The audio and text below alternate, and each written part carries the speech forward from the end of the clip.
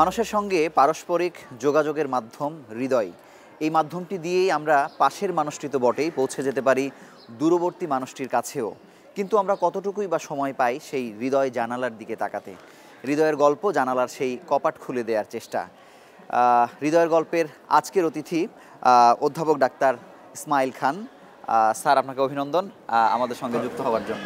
ধন্যবাদ। আহ, স্যারকে আপনারা সবাই চেনেন, তারপরে স্যারের অনেকগুলো পরিচয়। আমরা একে একে বলছি যে স্যার উপাচার্য চট্টগ্রাম মেডিকেল বিশ্ববিদ্যালয়, একই সঙ্গে স্যার সাবেক অধ্যক্ষ ঢাকা মেডিকেল কলেজ এবং স্যার সাবেক dean faculty of medicine Dhaka বিশ্ববিদ্যালয়।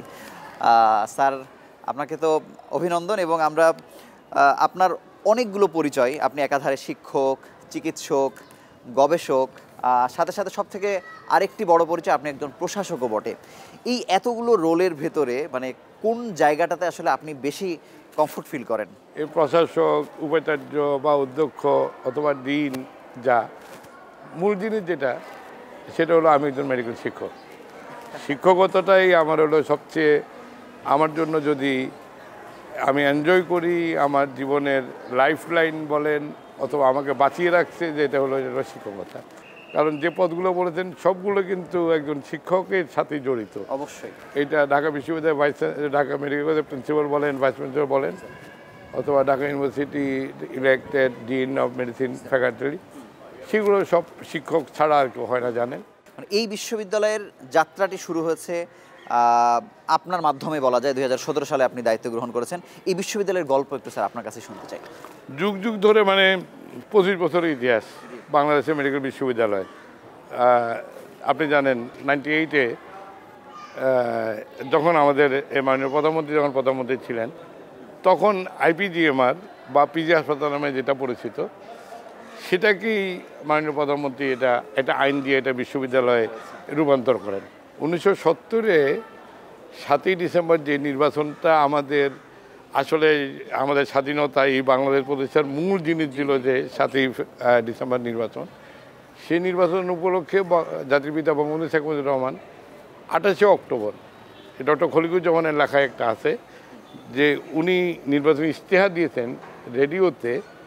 সেখানে কিন্তু বঙ্গবন্ধু বক্তব্য যে এই পুরো বাংলায়, তখন তো এই পুরো বাংলায় অনতিবিলম্বে মেডিকেল বিশ্ববিদ্যালয় এবং অন্যান্য বিজ্ঞান ও প্রযুক্তি বিশ্ববিদ্যালয় প্রতিষ্ঠা হবে। সেটি ধারাবাহিকভাবে সেটি। ধারাবাহিকতা মাননীয় প্রধানমন্ত্রী উনিশশো ইয়েতে নাইনটি এইটে নাইনটিন নাইনটি এইটে প্রথম বঙ্গবন্ধু শেখ মুজিবুর মেডিকেল বিশ্ববিদ্যালয় করেছে। এই জন্য ওইখানের কর্মকাণ্ড সাথে সাথে চিকিৎসা সেবা এবং চিকিৎসা শিক্ষা একসাথে শুরু করা গেছে।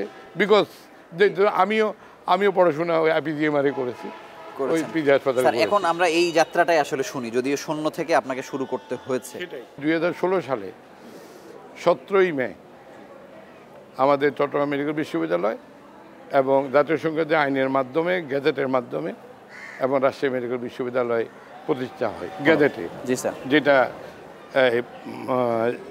দলিল। জি স্যার। ওইটা প্রতিষ্ঠা হয় কিন্তু কার্যক্রম শুরু হবে হওয়ার জন্য আরও এক বছর অপেক্ষা করতে হয়। দুই হাজার সতেরোতে আমি যখন ঢাকা মেডিকেল কলেজের অধ্যক্ষ হিসাবে কর্মরত ছিলাম এবং অ্যাজ ওয়েল এজ ঢাকা বিশ্ববিদ্যালয়ের ফ্যাকাল্টি অফ মেডিসিন ডিন হিসাবে করছি। তখন আমার সরকারি চাকরি আড়াই বছর বাকি আছে। আচ্ছা। তখন হঠাৎ অর্ডার হলো যে চট্টগ্রাম মেডিকেল বিশ্ববিদ্যালয়ের কার্যক্রম শুরু হবে এবং প্রথম বিসি হিসাবে আমাকে তখন নিয়োগদান করল।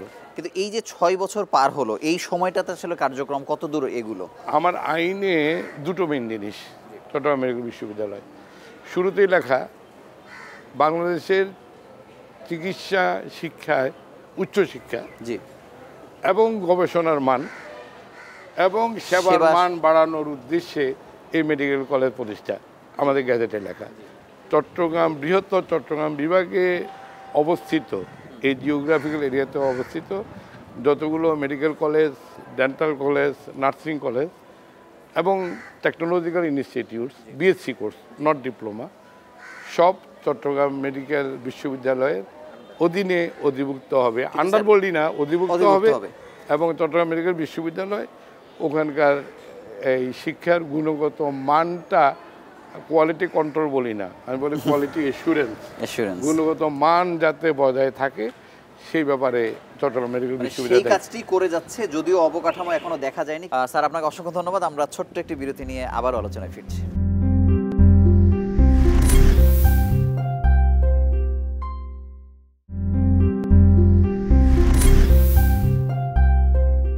স্যার বিরতির আগে কথা হচ্ছিল যে চট্টগ্রাম মেডিকেল বিশ্ববিদ্যালয়ের অধিভুক্ত যে প্রতিষ্ঠানগুলো আছে অনেকগুলো আছে এই বিভাগের সেগুলোর মান উন্নয়নে আসলে কতটা ভূমিকা রাখছে চট্টগ্রাম মেডিকেল বিশ্ববিদ্যালয়? আমাদের যা কিছু করতে হচ্ছে চট্টগ্রাম মেডিকেল বিশ্ববিদ্যালয় আইন দুই হাজার ষোলো অনুযায়ী। আগে চট্টগ্রাম মেডিকেল মনে করি চট্টগ্রাম মেডিকেল বিশ্ববিদ্যালয় অধিভুক্ত এক নম্বর মেডিকেল কলেজ যদি প্রধান বলি চট্টগ্রাম মেডিকেল কলেজ। আগে এগুলো অধিভুক্ত ছিল চট্টগ্রাম বিশ্ববিদ্যালয়ের অধীন।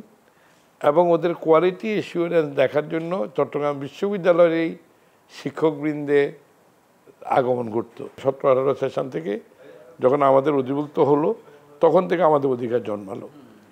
সেই রকমভাবেই প্রতি তিন মাস পর পর গভর্নিং বডির মিটিং হয়। সেই মিটিংয়ে আমাদের চট্টগ্রাম মেডিকেল বিশ্ববিদ্যালয়ের প্রতিনিধি এবং আমি ছিলাম আগে গভর্নিং বডির সভাপতি, স্বাস্থ্য পরিবার মন্ত্রণালয়ের প্রতিনিধি এবং আমাদের অন্যতম একটা নীতি নির্ধারক হলো Bangladesh medical and dental council সেটা আপনি জানেন। বিএমডিসি প্রতিনিধি এবং স্বাস্থ্য অধিদপ্তরের প্রতিনিধি। সব মিলিয়েই কিন্তু ওই পরিচালনা পর্ষদ। সেখানে পরিচালনা পর্ষদ তিন মাস পর পরেই ওই কলেজের একাডেমি অ্যাক্টিভিটিস কি সব কিছুই পর্যালোচনা করা হয় এবং তাদের একাডেমিক রিপোর্টগুলো ওখানে পেশ করা হয়। স্যার আপনাদের পেশায় যারা আছেন আর কি তারাই কিন্তু অনেক ক্ষেত্রে বলছেন যে এই যে মেডিকেল কলেজের সংখ্যা বাড়ছে অনেক জায়গাতে সরকারি মেডিকেল কলেজও কিন্তু সেই মান রক্ষা করতে পারছে না। বেসরকারি অনেক ছোটোখাটো প্রতিষ্ঠান হয়েছে যাদের আসলে হাসপাতাল নেই। সেগুলোকে আসলে আপনারা কীভাবে দেখেন বা তদারকিটা কোন পর্যায়ের, স্যার? এটা সত্যি, কিছু কিছু কলেজের মান ওই মানের না, একজন এমবিবিএস ডাক্তার তৈরি করার জন্য। যতগুলো যে পরিমাণ একাডেমিক নলেজ স্কিল এবং অ্যাটিটিউড দরকার, সেখানে ঘাট, ঘাটতি আছে। কিন্তু বাড়ছে সেটা কিন্তু নিয়ম অনুযায়ী আমাদের ডাব্লিউএইচওর হিসাব অনুযায়ী প্রতি এক হাজার পপুলেশনের জন্য একজন চিকিৎসক দরকার। বাংলাদেশে সেটা সবচেয়ে কম ছিল। যেই হিসাবে কোয়ান্টিটিটা বাড়ছে ঠিক একই অনুপাতে ওই পরিমাণ শিক্ষক ওই পরিমাণ ফ্যাসিলিটি ওগুলো সরকারের পক্ষে অথবা বেসরকারি যেগুলো হয়েছে সম্ভব হয় নাই। এত বছরের শিক্ষকতার জীবনে বলতে পারি কোনো কোনো মেডিকেল কলেজে এই ডিফারেন্সটা আছে। যে কোয়ালিটি অফ মেডিকেল এডুকেশন সব জায়গায় সামঞ্জস্যপূর্ণ নয়। স্যার, আপনার কাছে জানব যে আপনি বাংলাদেশের সর্ববৃহৎ মেডিকেল কলেজ সেখানের অধ্যক্ষ ছিলেন চার বছর এবং আরও চার বছর দায়িত্ব পালন করেছেন এর আগে। এবং একটু অবাক হওয়ার মতো বিষয় যে, আপনি অন্য মেডিকেল কলেজের চট্টগ্রাম মেডিকেল কলেজের কিন্তু ওখানে অধ্যক্ষ ছিলেন, এটি খুব কম দেখা যায় আর কি। সেই যে অভিজ্ঞতা, সেই অভিজ্ঞতাটা আসলে এই বিশ্ববিদ্যালয় পরিচালনার ক্ষেত্রে আপনাকে ভেতর থেকে কতটা সহযোগিতা করছে? বরং ওইটাকে আমাকে অনেক সাহস দিয়েছে। যেহেতু আমি চট্টগ্রাম মেডিকেল কলেজ থেকে গ্র্যাজুয়েশন করা আপনি জানেন। যখন দুই হাজার নয়তে আমি যখন যখন ঢাকা মেডিকেল কলেজে ফার্মাকোলজি প্রফেসর হিসেবে জয়েন করি এবং তার কিছুদিন পরে ভাইস প্রিন্সিপাল হিসাবে আমাকে অ্যাপয়েন্টমেন্ট দেয় সরকার, সেখানে আমি চার বছর কাটিয়েছি। এবং আমার সৌভাগ্য, আমার তখন অধ্যক্ষ ছিলেন অধ্যাপক কাজী দিন মোহাম্মদ। প্রথমে একটু ইতস্তত। অধ্যক্ষ হয়ে যেতে আমার চেয়ে সিনিয়র অনেকে আছেন। কিন্তু আমি ফর্চুনেট এনাফ যে আমি ওই সিনিয়রদের স্নেহ আমার ক্লাসমেটদের সহযোগিতা এবং জুনিয়রদের রেসপেক্ট পেরেছি। আমি সত্যি কথা বলতে কি আমার কাছে যখন প্রস্তাব এসেছে আমি রাজিও ছিলাম না। বিকজ আমার কাছে তখন ঢাকা মেডিকেল অধ্যক্ষ এবং ঢাকা ইউনিভার্সিটির ফ্যাকাল্টি অফ মেডিসিন ডিন ওটা অনেক সম্মানজনক পোস্ট মনে হচ্ছিল। আর যেহেতু আমার বাড়ি চিটং মিরেশ্বরী থানায় সেজন্য আমার কোনো উপায় ছিল না। আমার যখন সরকারি কর্মকর্তা আমি একজন যখন আদেশ হয়েছে তখন আমি এখানে জয়েন করেছি। চট্টগ্রামের মানুষের সেবা নিতে যেন অন্তত ঢাকা কেন্দ্রিক না যাওয়া লাগে বা দেশের বাইরে না যাওয়া লাগে সেটি আসলে এই প্রতিষ্ঠান সর্বোপরি প্রতিষ্ঠা পেলে আসলে কতটা স্বাধীন হওয়া সম্ভব বলে আপনি মনে করেন? প্রশাসনিক বলি স্বাস্থ্য বলি শিক্ষা বলি যে কোনো কিছু নীতি নির্ধারণী যত সংস্থা সবগুলো আমাদের ক্যাপিটাল সিটিতে সেটা হয় চট্টগ্রাম থেকেও ঢাকায় আসতে হবে রাজশাহী থেকেও ঢাকায় আসতে হবে।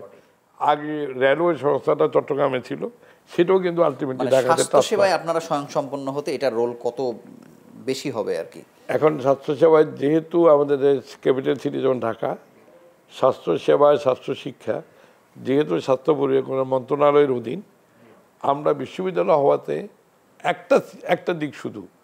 অ্যাডমিনিস্ট্রেটিভ কিন্তু কোনো উন্নতি হবে না। যেহেতু administration is run by the capital সিটির ইনস্টিটিউট অ্যাটলিস্ট একাডেমিক ইনস্টিটিউটগুলো একাডেমিক সেক্টরটা সেই সেক্টরটা আমি আমি মনে করি চট্টগ্রাম মেডিকেল বিশ্ববিদ্যালয় এই ছয় বছর যা এগিয়েছে যা কাজ করেছে আর আমাদের পূর্ণাঙ্গ যখন এটা এক থেকে গত পাঁচই অক্টোবর পাশ হয়েছে আমি আশা করি এটা যখন পূর্ণাঙ্গ রূপ পাবে তাহলে এখানে ওই স্পেশালাইজ যে ইনস্টিটিউটগুলো ঢাকা ঢাকাতে আছে, সেগুলো স্পেশালটা এখানে শুরু হবে।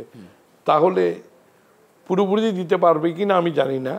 অনেকটা লোড কমে যাবে যে ঢাকার দিকে চিকিৎসা সেবার জন্য যাওয়া সেটা অনেক কমে যাবে। স্যার আপনাকে অসংখ্য ধন্যবাদ। আমরা আরও একটি ছোট্ট বিরতি নিয়ে আবার আলোচনা ফিরছি।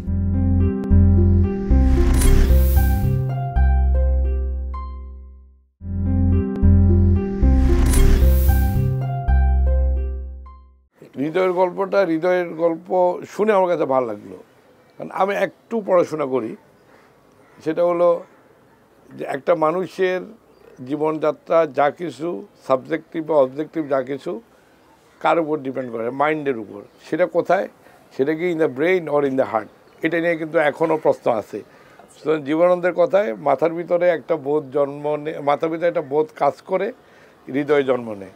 যেটা আমার প্রফেশনে আমি শিক্ষক হিসেবে প্রায় বলি যে তুমি একজন রুগীকে বা যে কাউকে আমি একজন শিক্ষক ছাত্রকে পড়ানোর চেষ্টা করব যাতে সে শিখে আমি কতটা পড়ালাম বড় জিনিসটা সে কতটা শিখলো সেটাই বড় জিনিস একজন পেশেন্ট যখন ডাক্তারের কাছে যাবে যখন সে হৃদয় থেকে ফিল করবে যে যে ডাক্তার হৃদয় থেকেই তাকে। তার প্রতি এম্পাথি সিম্প্যাথি তখন কিন্তু সে নাইনটি নাইনটি পার্সেন্ট ভালো হবে। বাকিটা এই। স্যার আমি একেবারে একটু ম্যাডামের গল্প আপনার ছেলে মেয়েদের গল্প। ম্যাডাম মানে ব্যক্তি- জীবনে? আমার ওয়াইফ হোম ইকোনমিক্স থেকে মাস্টার্স করা। সে ওই গৃহকর্মেই আমার দুটো ছেলে আছে। বড় ছেলে এবার এ লেভেল পাস করে এবার বিবিএতে ভর্তি হয়েছে নর্থ সাউথ ইউনিভার্সিটিতে ঢাকাতে। আর ছোট ছেলেটা ক্লাস সেভেনে পড়ে। এখানে আমি একটু বলি আপনাকে হৃদয়ের গল্প যেহেতু। সেখানে আমার একটু দুঃখবোধ আমার দুঃখবোধ নেই। কিন্তু মানুষের দুঃখবোধ দেখে আমার হাসি আসে। আমার ছোট ছেলেটা একটু হাইপার অ্যাক্টিভ আচ্ছা। ফর দ্যাট জন্য কোনো অনুষ্ঠানে যখন যাই তখন অন্যরা হয়তো অন্যরকম ফিল করে। তবে এখন অনেক কমে গেছে। But I feel proud that he is my son sir এই যে ফার্মাকোলজির মানুষ আমরা খুব কমই আসলে পাই। মানে অনেক সময় দেখা যায় যে চিকিৎসকদের মধ্যে আসলে একটু প্র্যাকটিস ওরিয়েন্টেড আমরা দেখি বা চেম্বার প্র্যাকটিস মানে ফার্মাকোলজি আপনাকে কেন টানলো? বিষয়টা হলো এই মেডিকেল সায়েন্সের যত উন্নতি গত একশো বছরের গত একশো বছরে আমাদের লাইফ এক্সপেরিয়েন্স যা বেড়েছে তার জন্য মূল কারণ অবশ্যই শিশু মৃত্যুর হারটার কমেছে তা ঠিক কিন্তু তার সাথে এই আধুনিক ওষুধ।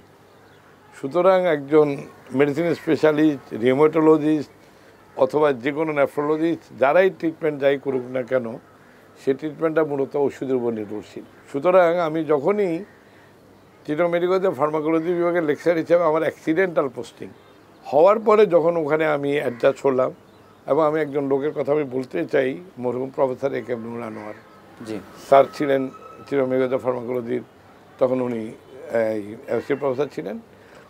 স্যারের ভালোবাসা ছাত্রদের প্রতি স্যারের ভালোবাসা তার সাবজেক্টের প্রতি এটা দেখেই কিন্তু আমি অনুপ্রাণিত হয়েছি। স্যার আপনার কাছে জানব যে এই যে চিকিৎসার বাইরে বা আপনার এই প্রশাসকের রোলের বাইরে একটা সাধারণ একটা জীবনযাপন মানুষের থাকে আর কি সব কিছুর বাইরে মানে ওই জগৎটা আপনার কেমন? মানে সেই সময়টা আপনি কীভাবে কাটান? অবসরটা আমার চিকিৎসা বাইরে। আমার প্রিয় দুটো জিনিস যদি বলি একটা হলো ঘুম আর একটা হলো ক্রিকেট। আর লোনলিনেস না মাঝে মাঝে একা থাকা এবং একা চিন্তা করা নিজেকে নিয়ে বা সমাজ নিয়ে বা সব কিছু নিয়ে চিন্তা করা এটা আমার একটা অভ্যাস।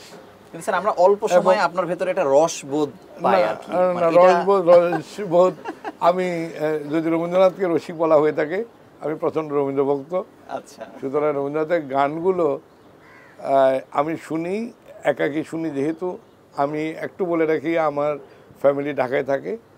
আমি যেহেতু এখানে পোস্টেড আমি ম্যাক্সিমাম সময় এখানে এবং আমার গ্রামের বাড়ি মিরসাইতে থাকি। এবং একাকী সময়টা রবীন্দ্রনাথের গান আমার সম্বল ক্রিকেট খেলা থাকলে তার সম্বল এবং আমার সামনে একটা গীতবিধান থাকে। আমি রবীন্দ্রনাথের গানটা শুনি প্রত্যেকটা শব্দ গীতবিধানে দেখে। হয়তো অনেকে জানে আমি অনেকে জিজ্ঞেস করছি যে প্রথম লাইনটাই বলল দ্বিতীয় লাইন বলতেছে কিন্তু সে মনে করে বলতে পারতেছে না শব্দটা জানে না। যেন রিফ্লেক্সই দ্বিতীয় লাইনটা আসতেছে। স্যার আমরা একেবারে অনুষ্ঠানের শেষ প্রান্তে শেষ প্রশ্ন হিসেবে আপনার কাছে জানতে চাই যে এই এত বড় বড় জায়গায় দায়িত্ব পালন করার পরে বা এখনও একটা লড়াইয়ের ভেতরে আছেন ভবিষ্যতে আসলে নিজেকে কোথায় দেখতে চান? আসলে লড়াইটা কিন্তু সব কিছু অ্যাডজাস্ট হয়ে যায়। শুধু আমি নতুন করে কোনো লড়াই এবং আগামীকাল আমারে কি করতে হবে কীরকম প্রস্তুতি নিতে হবে আমি কিন্তু ওগুলো থেকে ব্রেন থেকে আমি বাদ দেওয়ার চেষ্টা করি। কারণ আমাদের চতুর্দিকে ভালো, খারাপ সব মিলিয়ে যত আমাদের আবহাওয়ায় আমরা এনভায়রনমেন্টে আসি যে স্পঞ্জি টাইপ অফ ব্রেন আর একটা filter type of brain spongy type হলে সবগুলো আমার ভিতরে প্রবেশ করানো এবং সেটা আমাকে কুড়ে কুড়ে খায়। এখন আমি নিজেকে এই বাষট্টি বছর পরে, তেষট্টি বছর বয়সে চেঞ্জ করে নিছি ফিল্টার টাইপ অফ মাইন্ড যে যা কিছু আমার কাছে গ্রহণযোগ্য না, সেটা আমি ভিতরে ঢুকাবো না ফিল্টার করে ফেলে দেবো। সুতরাং সামনে যা এখনও লিওটলস চলে ওই থ্রি কোশ্চেনটা আমি বিশ্বাসী। যে best time now best thing what we are doing now and why the best person আপনি আপনার সাথে আমি কথা বলছি। সুতরাং ওইভাবে আমি সাইকোলজিতে আমি সেট করে নিই আপনাকে অসংখ্য ধন্যবাদ আমাদের সঙ্গে যুক্ত হওয়ার জন্য এবং আবারও আন্তরিকভাবে অভিনন্দন জানাচ্ছি। অনেক ধন্যবাদ আপনাকেও। স্যার বাংলাদেশের কেন্দ্রেই স্বাস্থ্য খাত নিয়ে অনেক কিছু করার পরে সরকার মনে করেছে যে বাংলাদেশের যে চট্টগ্রাম অত্যন্ত বড় একটি অঞ্চল সেই জায়গায় বিশ্ববিদ্যালয় প্রতিষ্ঠা করে সেটির দায়িত্ব স্যারকে দেওয়া হয়েছে এবং আমরা আশাই করছি স্যার যে চিন্তা করছেন আগামীতে এই অঞ্চলের মানুষের স্বাস্থ্যসেবা আরও প্রসারিত হবে এবং এটি নাগালের মধ্যে যাবে। সেই প্রত্যাশায় আজকের মতো বিদায় নিচ্ছি। আগামী পর্বে নতুন কোনো অতিথি নিয়ে হাজির হব। সেই সময় পর্যন্ত ভালো থাকুন, সুস্থ থাকুন।